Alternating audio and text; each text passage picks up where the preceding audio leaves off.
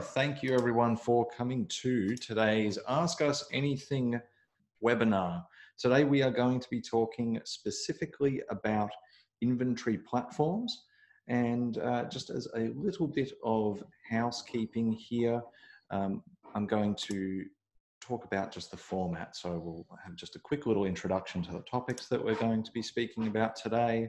Uh, we will break down a little bit of the semantics of uh, what certain things mean. Uh, and then we will be answering questions that have been sent in in advance by you, the attendees. Um, at the end of the session, we have an opportunity for live questions. So if there are any things that pop up during today's session and you would like to have us answer them, head over to the Q&A section of Zoom and enter them there and we will uh, uh, answer them at the end of the webinar. Um, so let's jump into it. My name is Matthew Grant and I am the new business director at Waypoint and I'll be moderating this session today. Um, for context, uh, if you met us at XeroCon, you would have probably spoken to me. I'd say there's probably about a 90% chance of that. Um, I look after people at the start of their client journey with us. I also look after strategic partnerships at Waypoint. Um, and joining me today for this conversation, which will be fairly informal, it'll be a bit of back and forth between Dan and I uh, so that we can answer your questions. We have Dan Fairbairn. Say hi, Dan. Hey. So Dan runs the business, uh, but he also heads up our most complex implementations. So obviously we waypoint we put in uh, quite complex at times uh, software implementation projects into uh, our client businesses.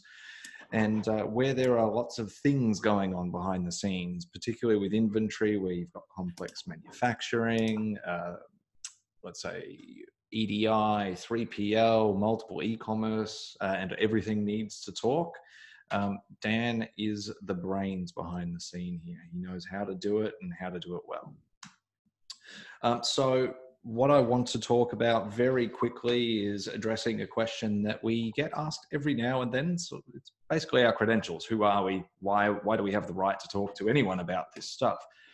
Uh, so, we are if you're in the Xero ecosystem, you're probably familiar with the cloud integrator model that Xero operate. Um, they have bit over 300 uh, in that pool of uh, implementation providers, and they have a very small subsection of that called preferred. There's only about eight of us, and we're one of those preferred implementation providers. We've been in that program since day one, and we have literally put in hundreds of projects successfully into client operations. Um, when it comes to inventory solutions, um, we are market leaders in what we do. Um, and uh, certainly we've got uh, the references and, and the backup to prove it. So today, just very quickly, we're talking about a very simple term, inventory, but it means quite a lot.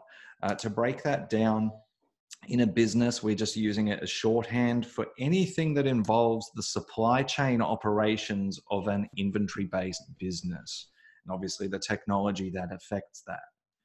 Um, so that can be things like just simple product handling. Uh, it can be the manufacturing component of the business. So, you know, a simple or a complex bill of materials.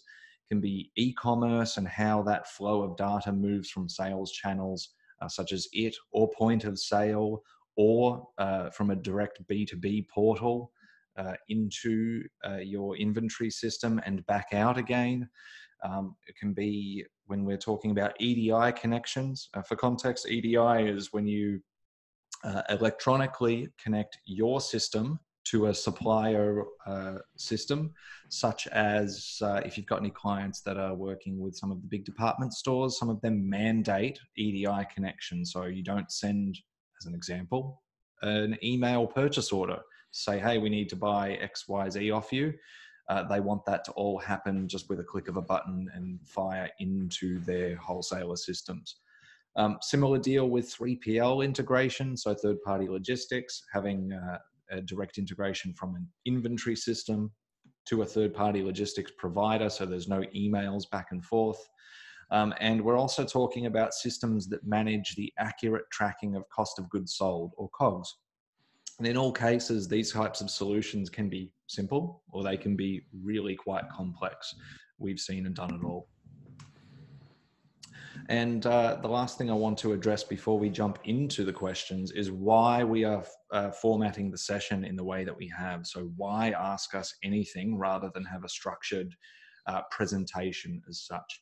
And the main reason is because oftentimes we find that there are some very simple, straightforward questions that are really hard for you to get answers on. Um, when you go to software vendors directly, a lot of the times, you know, you end up in a sales funnel. Um, and just to get some simple answers, you know, you've got to sign up for demos and trials and all this sort of stuff and uh, get bombarded with uh, marketing collateral. And on the flip side of it, a lot of uh, the things that we discuss with our clients, some of that IP can be behind uh, a similar style process of, of consultation. So we wanted to give everyone an opportunity, and uh, given the success of these so far, we will probably do this again where those questions that you think well i don't want to have to go through a meeting you know or a couple of meetings and scoping to find out these couple of little things um, our ip is here we've got it in our brains and we're happy to share it so uh, with that said, I'm going to jump into the questions that have been sent to us already. Now, to give a bit of context here, um, as the moderator, I've prepared the questions and tried to structure them in some order that makes sense for us to answer them one after another. Um, I haven't given Dan these questions ahead of time to prep. So we want this to be kind of a, a fairly casual and off the cuff kind of conversation. Um, certainly, we want to leverage what Dan knows about the industry and how these systems get implemented. Uh, so I'm going to jump straight into it. Dan, you ready to roll? Uh, yeah, you can hear me okay? Yep, can hear you okay. Perfect.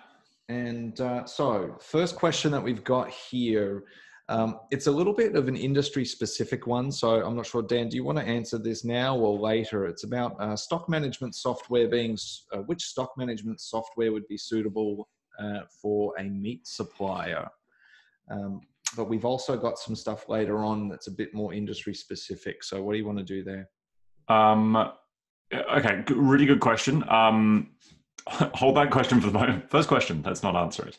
Um, hold that question for a moment because there's probably a good little bit of context if we've got anything um, kind of broader um, that I'll kind of come back to that the kind of best is always a difficult thing to answer, but I'll hmm. I'll come back to that in a little bit if you don't mind. Um, and yeah, look yeah. at something a little bit more broad.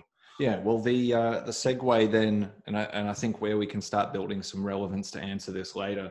Um, there's a question here. Someone has asked, "What are the best cloud inventory systems?" So again, that the word "best" here, and what are the key differences between them? So you wanted broad. How's that for broad?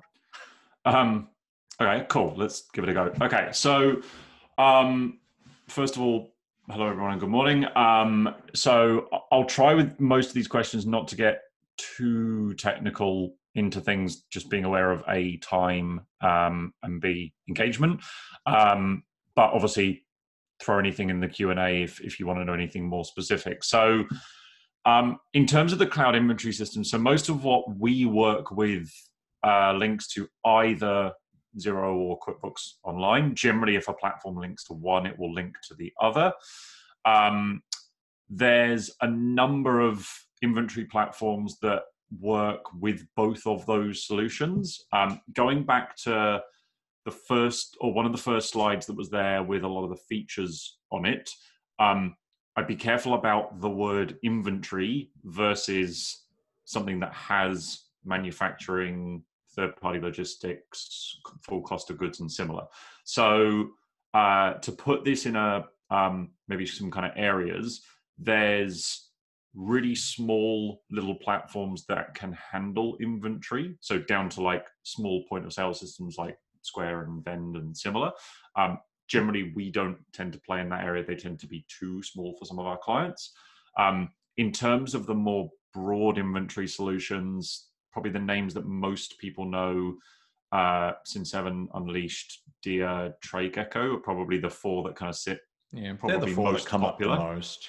Yeah. Um, cards on the table for us, probably 70, 80% of clients head towards DEAR um, for kind of cost versus value versus feature set. Um, generally, I would very broadly say, personal opinion only, TradeGecko tends to be at the lower end of the feature set. There's a little bit less in terms of EDI production and similar. Um, it doesn't offer production at all. Yeah.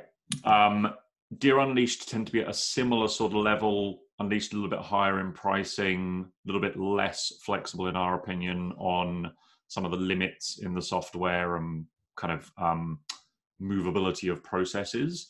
Um, Cin7 tends to be much at the higher end, especially when it comes to pricing. Um, there's a couple of little killer things there we'll probably talk about um, in some future questions, but that, that's probably where the where the realm where the market sits, um, very roughly. But there are big big differences between them. Definitely one key piece of advice I would I would give people, and we'll, we'll probably get into it depending on what other questions are, is just watching out for the word inventory in a in a feature or similar where it can mean um, not very much more than just a stock count with nothing behind it um, mm. to be very honest yeah yeah um, there's uh, a couple of things around uh, market so types of industries and things like that as well certainly that you know it really does depend on uh, it really depends on the requirements i, I guess like you know cost of goods sold. How does the client calculate cost of goods sold? Do they do it over? Uh, they do it as first in, first out, or do they do it as an average? Um, some systems do average, some systems do FIFO. So that's a real good one because certainly a lot of the other things like you know managing unique SKUs, managing the prices, the buy prices, multiple suppliers, um, you know those kinds of things are ubiquitous. All of the systems do that. Um, yeah, you, are right. Um, there are things that something like, say, TradeGecko doesn't have. So it doesn't have uh, production or advanced uh, inventory or product tracking. So things like batch tracking and serial numbers, I don't believe are in it. Could be wrong about serial numbers, but um, but there's things like that. Um, but once you get into the systems that handle that, most of the functionality I find, if you were to just put it on a grid and you know do a competitor analysis chart, they all tick most of the same boxes. Mm-hmm. Um, there's nuance in the way that it handles things that make things a little bit different um, across I'd, the board. I'd say similar with that. So I, would say for most people, um, and this will probably come back around to that specific question about the industry just before. So hmm. there's definite tick boxes against a lot of the solutions. So you, you can definitely say, and I, and I would tell people to start there. So if you know I need batch tracking, I need EDI because, as you said at the beginning, it's mandated in some cases now. Um, that's going to knock some things off straight away off of a kind of list of, of systems to look at. Um, I'd start there at least to whittle things down. Um, you're completely right then. So we did a similar webinar yesterday on professional services. Professional services is a lot more subjective inventory without being too simplistic. Um, box moving is fairly discrete. There's obviously some fun with you know credits and shipping and integrations and things, but broadly, a product comes in, you may manufacture it into something else. Someone places an order, you ship it out. So um, I'd look first at the feature sets of a solution if you're looking at something um, uh, to make sure that you've got the basics of what you need, and also limits. There are some solutions that have like product limits, order limits, things like that.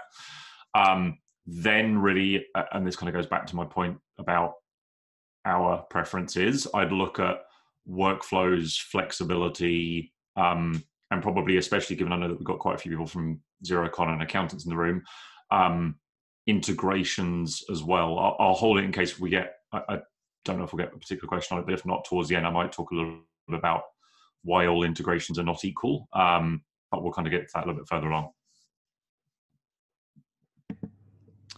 Cool. Um, one last little thing that I want to add to that, and I think we'll touch on this a little bit later because there is a question sort of about this, but uh, I thought let's uh, yeah let's let's bring it up now.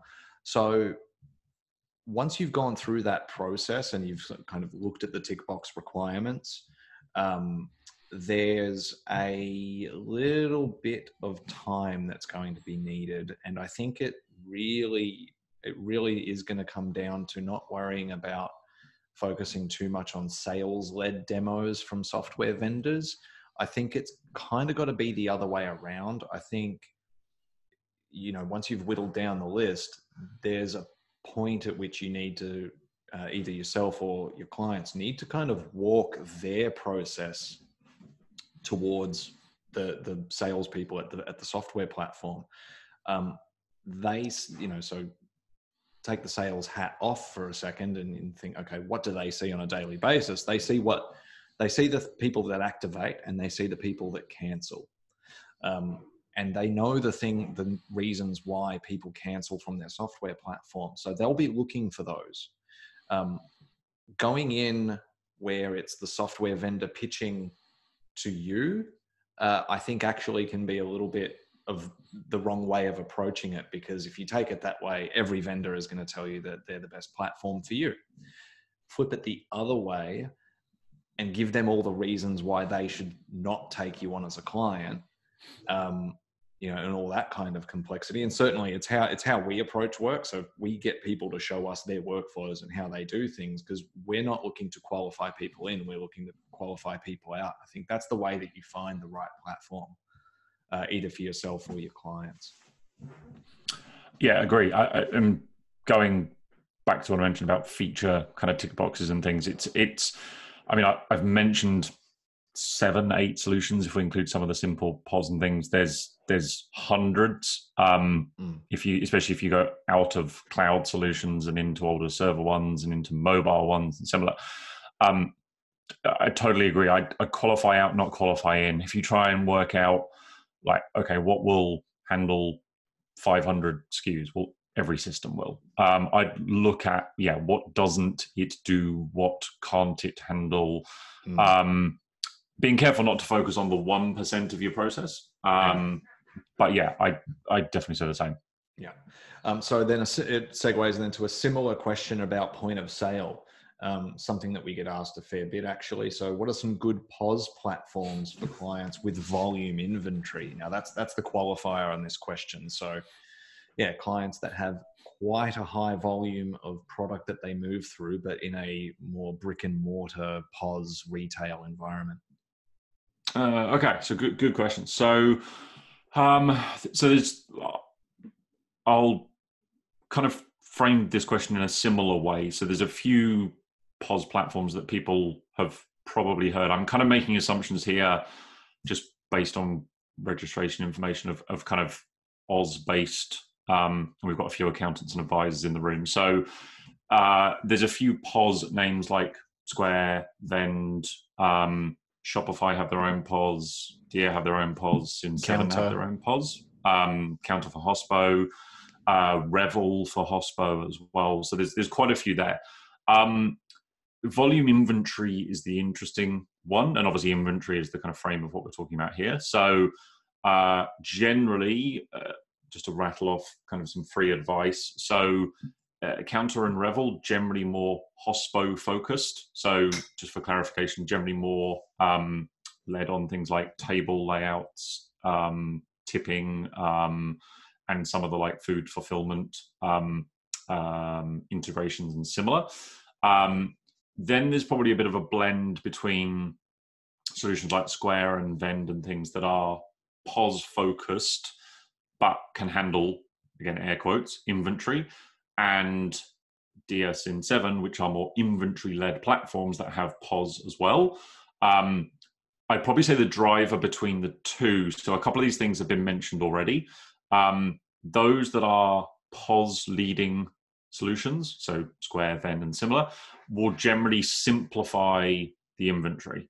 It's not always a good thing, not always a bad thing. So they'll generally run on average cost, um, generally not batch track or serial track, uh, generally not run much production or similar. So if if we're talking pure retail, good options and good solutions.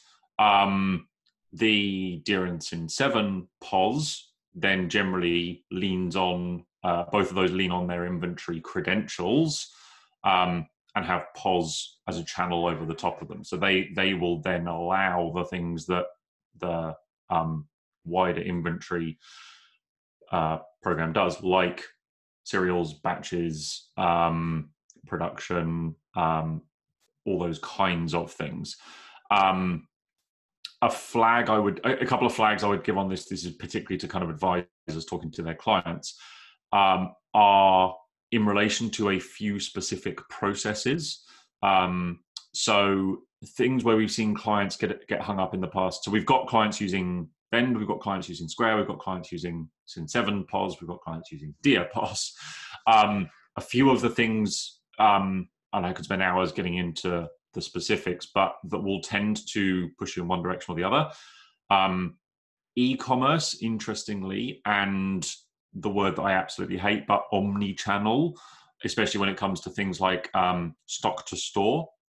Um, so, as an example, if you have, let's say, a warehouse in Melbourne, but a couple of retail stores, if you want people to be able to do things like order stock to store or use gift vouchers or rewards or credits across channels, that needs some consideration. That tends to lean you more to the heavier end of things. Um, if you tend to sell through negative stock, that's a concept that kind of makes my ears bleed a little bit, but that tends to lead you to the smaller solutions because more pure breed inventory solutions like DEAR Unleashed and Seven intentionally and rightly don't let you sell through negative stock. They'll let you back order things, but you can't ship out what you don't have.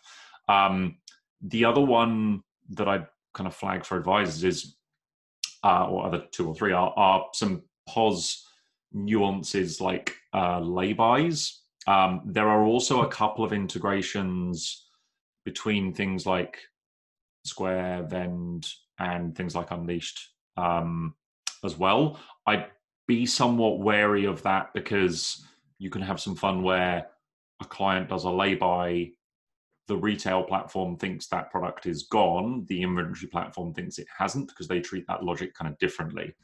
Um, so, my 20 minute answer to a simple question um, it's kind of horses for courses. Um, the biggest thing is probably in a similar way to looking at what the platform's core function is. I'd look at the same for the business. So, assuming um, uh, you, the phrasing I think was volume inventory, assuming we're understanding that right, I would look at those solutions for whom that's the core function, but that operate a POS internally versus the simpler solutions that are probably not going to have the weight required. Yeah. Um, really good points, and I, think I would add something a little bit off off the to the side of that. So, um, good POS solutions, if you're looking at an integrated environment, so say you're looking at an inventory backbone um, and using another POS at, at, the front end. So let's take a hypothetical here. For whatever reason, you're looking at, uh, say, DEAR inventory and you're comparing, say, DEAR's native point of sale versus having another point of sale integrated to DEAR. So DEAR's got an open API. You could do that. That uh, integration could get written uh, if the if there was a good enough um, kind of need to do so. You know, there are people that can do that for you.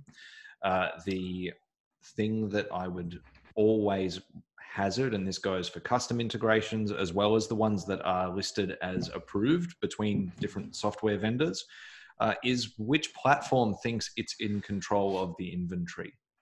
You can have the nicest POS in the world, uh, you know, but if it's fighting for control over the inventory list, and so is your inventory system, you're going to have a world of hurt. And for the couple of little uh, bells and whistles that the POS system might might have, you will undo the value by sitting there having to correct stock levels because one thinks it's in charge versus the other.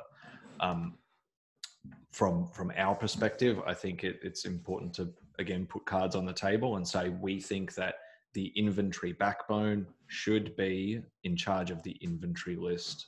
Um, it should basically be the centerpiece of your operations, POS, e-commerce, um, B2B, those those types of sales channels uh, are input methods and slaves basically to the inventory system in our in our worldview. Um, I'm I might I don't know if we've got questions on it. Might I might just jump on that point to talk. Uh, I mentioned about 10, 15 minutes ago. So not all integrations are built equally. Um, mm. uh, I'll, I'll, just make a couple of mentions there. So that's a good point. And, and for context, for our clients, generally the the add-on to use the Xero terminology, so the the operational application, so DEAR Unleashed, Cin7, then whatever, becomes the 90% of what a client does. Xero is obviously still important, still handles payroll and compliance and, and all that but the operational platform becomes the 90 to 95% of what someone does. Um, definite piece of advice I would give is to look at the integrations, not necessarily from a technical point of view, and, and that's where you know we and, and other people come in to advise the technicalities, but at a minimum to look at what sends and what receives broadly speaking. I don't expect people to look at all the fields of information, but at least to say, I assume that if I'm using an inventory platform, the sale that I do will sync to Xero. And yes, it will in all cases. But then a credit note, will that sync as well? Then if I make a payment in Xero, does that come back to my inventory system? Um, if I wanted to sell that item in my accounting system, could or would that put a sale back in inventory and similar. Um, as we know, there are several hundred applications that link to uh, Xero and a large number that link to QuickBooks as well. They are not all built equally, and there's a lot. I don't put anyone particularly in this boat that we've mentioned thus far, but there are a lot, especially newer players, that will say we are integrated to something like Xero and they just drop a sales record in and nothing else. So there's no cost of goods, there's no payments that come back, there's no other information. A um, couple of good tips and tricks for that as well. Um, oftentimes you can look at vendor help files or similar. Um, Xero recently redid their app pages um, and are very good. There's there's a little image usually on the right hand side um, which will show little arrows of what sends from the application, so vend to Xero, Xero to vend, DEAR to Xero, Xero to DEAR. Um, that's worth a look, A, to check it worked, but also uh, in talking to a, a, client, it's worth looking at um, to prompt conversations as well to say, like, ah, does that matter? What about this? And so on. So um, that's just a point I wanted to make is kind of be wary of just something that says, I integrate to Xero and what that can actually mean. Um, and I might just add another point before we move on to this, because and literally this is kind of the it's the million dollar question about you know well you know how simple how simple are these systems to set up. Um, I think when you start breaking things down, and hopefully what what you're taking away from this is it's not really just about importing a product supplier and uh, and customer spreadsheet into a system and syncing it up to Xero particularly if there are multiple sales channels. So the thing that we've thing that we see quite a bit, um, and this is this is just from the, the years of experience and whatnot, and you know, looking at all the different apps that enter and exit the marketplace. Um, the focus tends to be, rightly or wrongly, let's get our app that does X integrated to Xero or QuickBooks Online. So they focus there but then when you start throwing a third app into the mix, uh, things can get a little bit trickier. So that same concept that I, that I brought up about, okay, well, if you integrate e-commerce or point of sale to inventory, which one wants to control the uh, which one wants to control the product list? Now let's look at from the other perspective. If you integrate POS, ecom, uh, inventory to an accounting platform like Xero or QuickBooks Online, which one wants to control the financial information? If the vendor has focused, and this tends to be more at the smaller end of the scale, with you know, and sometimes actually in ecom, um, there, there's a local ecom platform that uh, has a bit of this this struggle. Uh, won't name names, but yeah, which one want, wants to control the financial data? Because that's something that they focus heavily on so that they can start doing things like attending road shows and, and sorry to be cynical on this but you know they want to they want to attend xerocon they want to attend quickbooks connect and show their app to you guys accounting professionals so that you recommend it. Okay cool. Have they focused as much on their accounting integration as they have everything else and and flip that logic around have they only focused on their accounting integration? And it means that you're going to have a struggle then where other where the, the mix of apps basically are fighting each other uh, for the uh, financial information. Uh, all right so yeah anyway that, let, us close that topic off. Um, but i might segue then dan so that question we had about the meat supplier i might bring that back up but i think if i'm going to interpret this this question a little bit differently let's talk a bit about the industry as a whole. So meat supply uh, is not dissimilar to things like uh, wood, like wood paneling and wood cutting uh, companies and things like that. I think a lot of the complexity in a, in a business like meat supply comes down to uh, variable units of measure. So mm-hmm. buying things in one scale, turning it into other things, uh, usually by cuts uh, and things like that. So we see this kind of solution quite a bit um, obviously the added complexity with something like meat or any type of food where you're buying you're buying maybe in liters cubes by cow by pig whatever it may be uh, and then turning it into smaller units and then maybe packing it the complexity with food is you have batch tracking and uh, expiry dates that need to be factored in as well.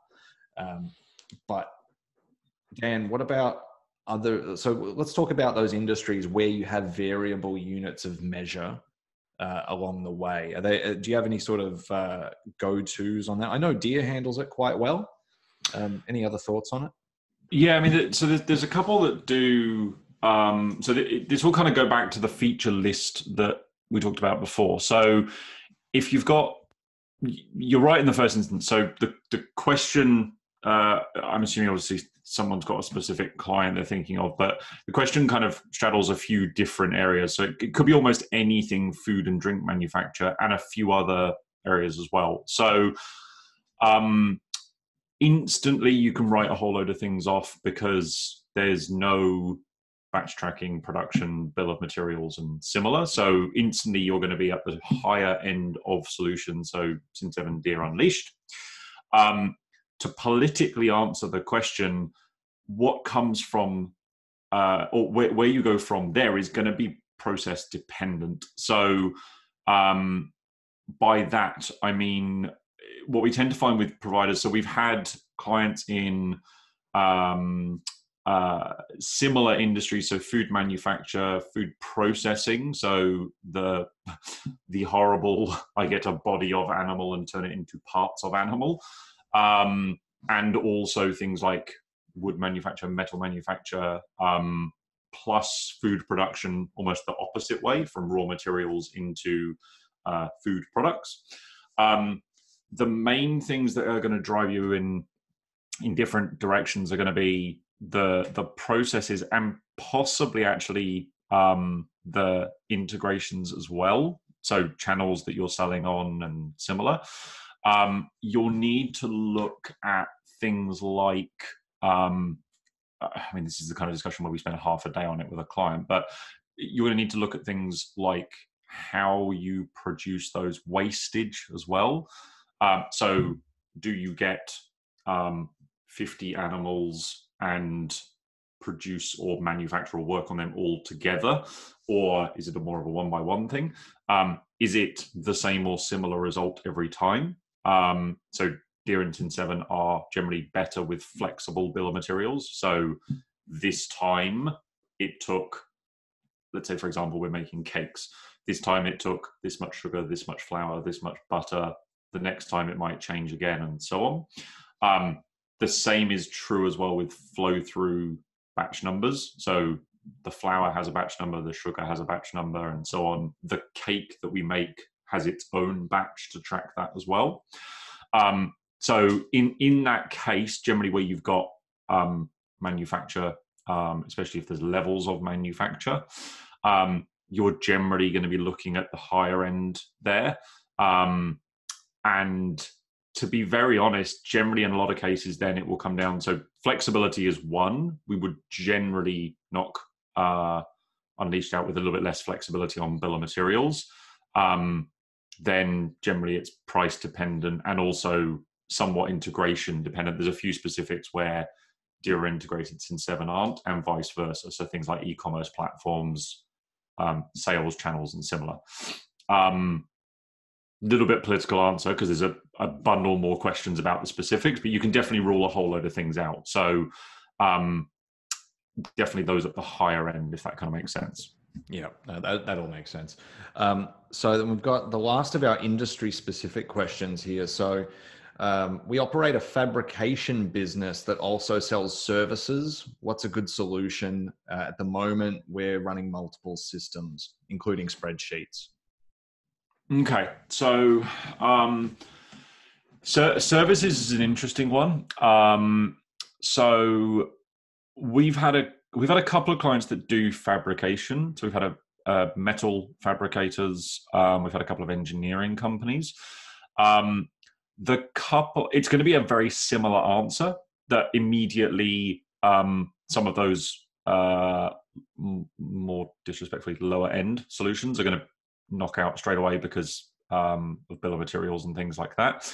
The the real importance is going to come down to um, the phrase selling services.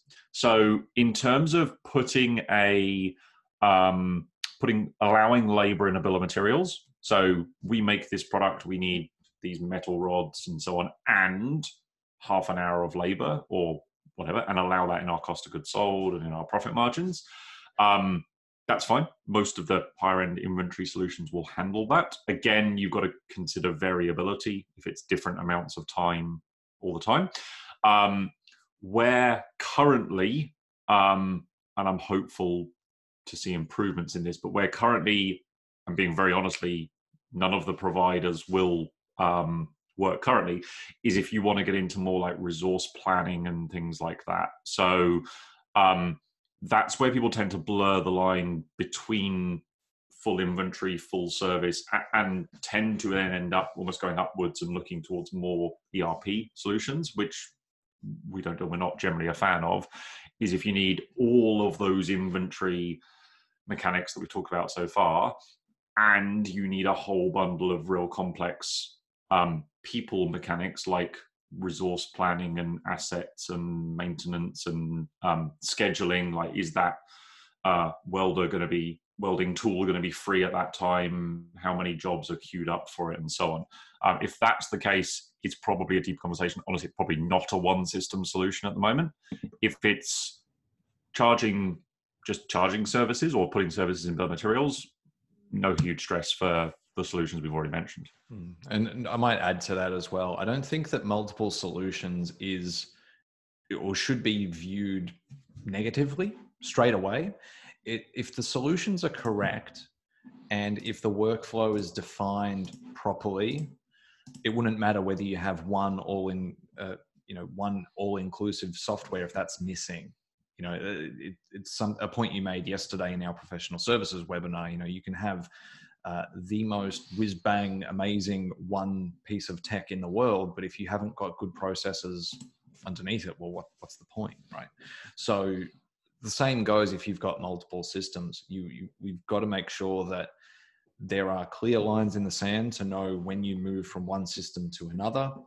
Um, doing so should provide some value obviously like going to out of one and into another having that little break in the chain it's worth it if the system that you move into is providing excellent value for what it does if it solves problems that would otherwise be difficult then it's no big deal obviously like when we put a system in uh, we try to minimize the number of systems that we that we put in and implement because you know the term Dan uses a lot is we don't want to build Frankenstein's monster. Um, particularly if you've got API connections all over the place and Zapier in the mix, you know, if one thing in the chain breaks, you know, you, you open yourself up to a world of hurt. So we're not scared of multiple systems, and we oftentimes advise clients that it is the best way to go down um, or, or to pursue. But like I, like I said already, you've got to provide value in those systems, and you've got to make sure that they're doing their role exceptionally well.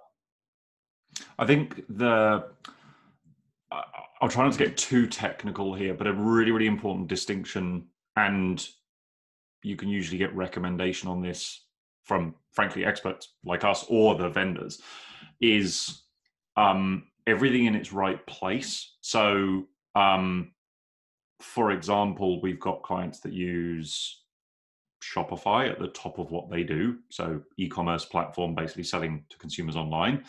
Um, inventory system in the middle, uh, shipping system, um, and their accounting at the bottom. And there's a, a, a pathway through all of that. So someone will go online, place an order, order drops into the inventory platform, is checked and approved, goes to the shipping platform to say, great, they're in New South Wales, send it with Australia Post, they're in the US, send it with FedEx, whatever, and goes into the accounting system once it's all approved and shipped. Perfectly fine. Four systems, perfectly fine. Situation you don't want is client places an order, order goes into all four systems, and then client emails and says, oh, crap, I don't live at 12 Blue Street, I live at 14 Blue Street. Then you have to change that in all four systems. They'll start erroring when they start sending information to each other and as Matt said, then you've got Frankenstein's monster. So there is a little bit of a fear um, that people have of like we need to live in one system. Not true, providing everything's got its place and you've got a process in behind it. Absolutely, what you don't want, back to an earlier point, you don't want systems fighting for control. So you don't want three systems trying to do the same thing. Um, and you want to make sure that there's a process and wrapping this all back around how the integration works so that information can actually flow between the things and similar. Um, all of those together are, are, so important but yeah there's got to be a political answer. There's two, two different schools of thought. There's got to be a reason for looking to go outside into another platform. If it's a 2% part of your process don't be scared of doing something manual. Don't be scared of pulling something out to a spreadsheet. If you do it once a week, who cares? If it's core to what you do, you absolutely don't want to create multiple sources of truth. But we've seen clients before have can hang on the one percent of things, and you'll never get anywhere in that case. Yeah. Um, something I might add to it. Um, we've got a client that we're working with, and I think something that we've figured out in in all of our consultation really is the way that they sell services and price services is actually quite simple. So there was this there was this uh, kind of instant uh, reaction to not having this one all-inclusive sort of platform that they didn't they didn't find favorable. But on picking it apart a bit more it turned out that their services were really just on site, basically on site quick installations. They calculated the price of the installation using a fixed uh, rate system, which uh, basically was that they sell a product by the square meter and they install it using the exact same uh, square meterage uh, number. So if you're if they're installing 40 square meters of product, their service charge is 40 times uh, the labor charge. And then it's just having to book someone to go out. And i was uh, the conversation i had was okay well your budget's here. You've got only a small workforce going out and doing the actual work. Why can't you just do it in a calendar? All of the other work was happening in store face to face they were negotiating their prices. All that stuff was happening there with the client there not not out on site. Um, there was there is not really a resource planning component for them other than knowing whether when they can book someone in to do it and whether someone's on leave or not. It was it was that kind of simple. So we've got down to the point where it's like well you already have google calendar and all of your guys that are out on the job are using google calendar. Well but they're kind of using it they're not really using it. Why don't we focus on getting them to use google calendar properly first And considering all that negotiations happening there, all you need is an inventory system. You can then just look at the calendar and say, yeah, we can slot you in for two hours here. Um, let's get that part right before we start looking to try and reinvent the wheel a bit. Let's let's let's focus there, get the processes and procedures right. And then if you start finding bottlenecks later on, then we'll look at something that does, you know, fleet management and whatnot. But for four guys out on the road just installing things like that wasn't necessary. Um, so we've got a couple more questions, and at this point, just as we are getting to the three quarter mark, I just want to remind the participants that we've got the Q and A section down the bottom. So we've got a couple of questions in there uh, that will get answered at the end. Um, but if you have thought of anything, if there's anything that you would like to know, jump in there, type the question in, and we'll answer it uh, coming up soon. So, uh, Dan, we've got a question here, uh, and I think we've answered much of this already, but let's let's do a short answer on this that's a bit more specific. I've got a client that runs uh, Shopify and they want to start selling on Amazon and eBay. How would an inventory system help them? I think that's that's a quick answer. Um, yeah, I, I, agree. So I think we, we talked about a lot of the, of the broad concepts previously, but probably most uh, most appropriately there, it's going to be centralizing information. So there's the obvious that you have a stock level in your warehouse. Shopify can see it, Amazon can see it, eBay can see it. So you you have different channels that don't sell out. You don't have to say we're selling 100 on eBay, 50 on Amazon, and so on. Um, the other side is probably information based. So if you have a new product launch, season launch, or whatever, drop that information into your inventory, sync it to all the channels, and they will have same photos, same information, same description, and so on. It's probably it's central hub basically, without knowing more about processes. Yeah, um, and we've got a question here. Is this the question that got asked yesterday? So uh, one of the attendees that attended both sessions or is attending both sessions asked the same question for both, and I think it's it's really great um, what tips and tricks do you have to get information from software vendors? Yeah, yeah. Okay. Um, careful how I answer this because this video is going to some of them. Um, so it, there's a few different things. So this kind of goes back to qualifying out rather than qualifying in. So a, a couple of really good tips and tricks. So first of all, um, feature tick boxes. Um, look at those and look at the feet or look at what something doesn't have. So obviously, a vendor's page may not always say we don't do this, but you can work it out backwards. The reason I say that is because we, um, you may see that a platform can handle batch numbers. Doesn't necessarily mean they can handle it in the way that you your process needs, but you know that at least if someone doesn't, scratch that, it's not going to work for us. Um, the flip side of this that I would say is there's two good places um, to kind of reverse that information. Totally agree with what you said, Matt, about demos. There are demos on online. Vendors will do demos. They are useful. I would definitely look at one for look and feel of a system, but the vendor's going to need to know this is how we do this and what our process to to know a bit more about you.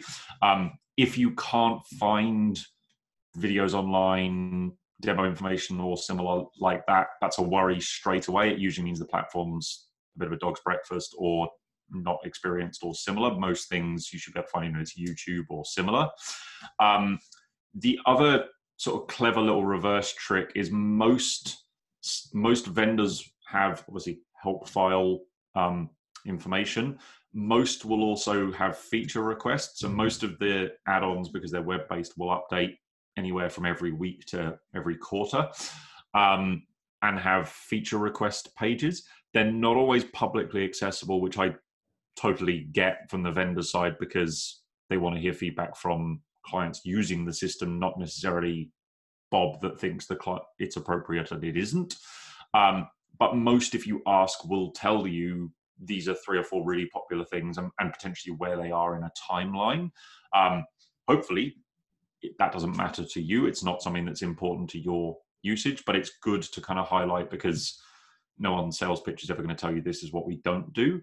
Um, the other little thing I would ask is um, if you speak to a vendor or partner or similar like us, um, without focusing on do you have another client like us who is a four person meat manufacturer based in this suburb with a company name beginning with A, um, I'd at least be asking like food manufacturer clients do you do you have any what experience do you have with them? At least so that when uh, there's a ubiquitous term like bill of material that you know there's other clients using it in a similar way with wastage with things like that. Um, they're probably the little kind of hack tips and tricks. Mm. um, yeah they're, they're probably the biggest things to to get uh, primarily qualifying out rather than qualifying in if that kind of makes sense. There are a couple of good ones there. Yeah a little point i'll add just on uh, when you're looking for similar clients don't look for the snowflake example.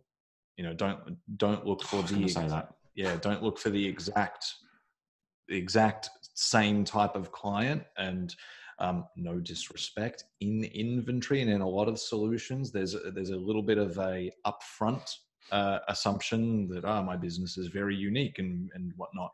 It's not always true. Just go broad. You just generally in the industry um, in food manufacturing in fabrication all that generally speaking, the processes might be slightly different, but the problems are all the same. Um, and certainly something we say to clients a lot of the time is, you know, sell us your business tomorrow. We know that we could install this system into it and it'll run just fine. Um, nuance in processes is important, but yeah, when you're looking for uh, industry proof, focus on the industry, not process proof straight away No, that that's probably a, a, good thing just to, to help narrow things down, but not get too deep in the weeds. Um, all right, our last pre uh, sent question is a long one, and then we've got two that are going to be answered live. So, uh, the long one, it's about project management, and uh, by that I mean implementation projects. So, a little bit more specific to what we do. Um, how much time and resource should be dedicated to moving inventory systems and at what point should a client look at a specialist like us instead of just getting uh, sorry in their words instead of just getting us so i'm assuming their accountant uh, to import the data for them? Uh, okay. So um, it's a little bit how long's a piece of string but i'll i'll try and give a few tips and tricks again. So um, obviously, as we mentioned from the start, this is kind of exactly what we do. So I'll kind of leave the sales pitch at the door. Um, in terms of time resource, obviously, it's very much going to depend on size of company. Um, someone who's getting five or 10 orders a month from clients is going to need a very different uh, process than someone that's getting 500 orders a day through their e commerce platform. Um, the things that I would say, regardless, uh, if I can summarize them, that are regardless of company size or structure or similar, um, someone needs ownership. So, not necessarily how much resource, but what resource. Um, someone in the business needs a mandate to to do this work, even if you're using an expert. Matt mentioned just before, we tell every client this like, cool, if you go to a provider and said, great, here is my business come and use the system tomorrow, people could do that. You could get one of DEAR's reps, Unleashed reps, to walk in and do it because they know, you know, we, we use this system day in, day out. Um, the important thing is getting yourself slash your client up and running. Someone needs to take that on. Um, ideally, someone that's at a reasonable level that they've got decision making doesn't have to be the owner or similar, but they have to be able to say, cool, that's the way we're going to do it. That's what's going to happen here. Um, ideally, as well, um, they've got resource to write like processes, guides, things like that. Um, I'd recommend so, so uh, as an example, regardless of size, when we work with a client, it's generally around a couple of month process. Um, we've also got clients that come to us having set things up themselves and just needing kind of ad hoc um, kind of tidy up and help. Um, generally i find those clients have taken about two months as well so let's kind of use that as a bit of a ballpark um, if you're doing something over kind of a couple of months i allow probably an hour or two every day or two um, rather than saying I'm going to do this on a Monday every week for two reasons. One, it's far too intense and far too much time between drinks. Um, additionally, you'll find just peaks and troughs in resourcing. It's a lot easier to say, you know, I'll stop, I'll get all of our shipments and deliveries and everything away today by one o'clock, and then I'll do an hour or two of learning the system or getting our product list together or similar. Um, keep a single person, ideally, single source of truth, single person working on it, single person getting upskilled. Um, yeah, probably an hour or two a day every day or two. Ideally, try not to get to a situation that someone is not doing it for a couple of days or more because then people tend to get weary of the process or forget things or similar. Um, other general little tips and tricks watch out for really obvious stuff like if you've got a massive industry expo don't try and go live at the same time um, black friday christmas sales mother's day father's day all that kind of stuff um, and without getting too sales pitchy uh, or too arrogant what like when to use an expert is someone's got to take this resource someone's got to take this risk if you don't want to be the one to do it find an expert that's kind of as simple as like all these things i'm talking about are being brutally honest, we've seen it before. Someone's made the mistake before. That's probably the single biggest reason to to outsource it is reduce the risk, of the cost, and the resource. Um, yeah, I just about got that wrapped up in two minutes. um, and I might just add one little bugbear to that as well. Don't wait until subscriptions for things like NetSuite or SAP or whatever are a month away from renewal.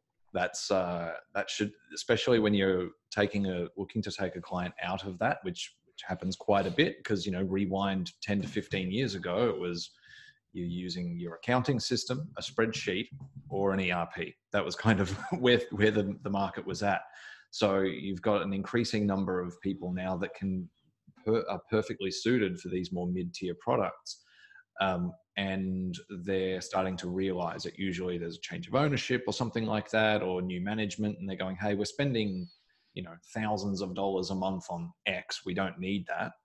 Um, we can do it in Y. Don't wait until the subscription for X is you know up a month from now and say, all right, we want to go live in a month. That's usually going to be a lot more complex than that. And unfortunately, it's something that happens quite a bit still. So uh, a lot of measure timeline expectations. A lot of people have a habit. It's a very weird comment, but a lot of people have a habit of sadism. In this case, we we have clients that will yeah. come to us and say, "We want to go live." Like the, the next one coming up is Christmas. Has some kind of impact on all of our inventory projects, either because they're a retailer, so Christmas is carnage, or they're a wholesaler, so they're busy till about October. Then they've actually got a nice little window. Um, and the number of times people will talk to us and say, Great, what do you recommend? Generally, we take a couple of months. If we were talking to someone right now, we'd be saying you could be live about the end of November, mid November, and won't mention other things going on in the business to then find that actually at the end of November there's a huge industry workshop and they expect a thousand orders and it's fine, we'll make it work. Like, don't do that shit. There is no need to do that. Yeah. Um, and the right kind of partner or the right kind of internal person will push back on that like there's there's a lot of pressure and a lot of risk in this kind of work there doesn't need to be any more yeah yeah um, all right so we are on to the live questions so i've got two here and i realize we've hit the hour so let's um, actually they're not they're not hugely complex questions either they're, they're quite straightforward uh, so the first one here uh, we've got is should we do b2b sales via a dedicated platform, or can we just do it with e-commerce? Uh, good question. So um, for for any of these live questions, we'll put the web link and things up if you need more detail. I won't get into too much technicality for time.